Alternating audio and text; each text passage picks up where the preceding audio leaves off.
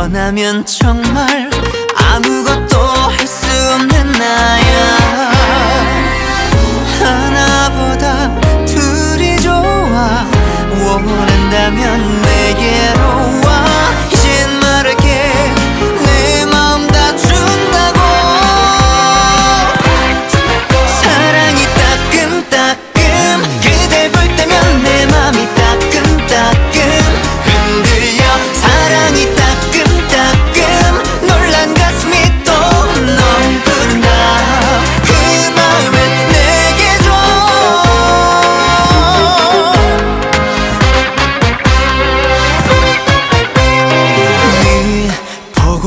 진심 질리지도 않나 봐긴 시간이 흘러도 한순간도 놓치지 않을게.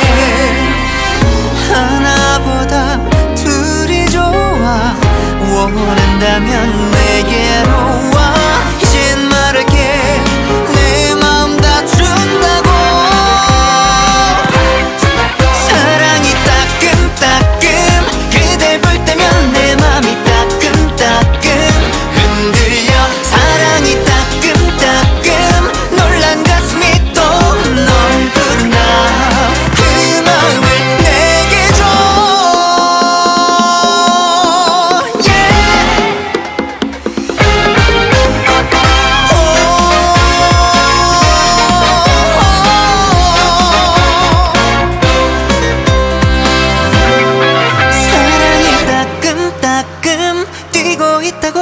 보면 따끔따끔 자꾸만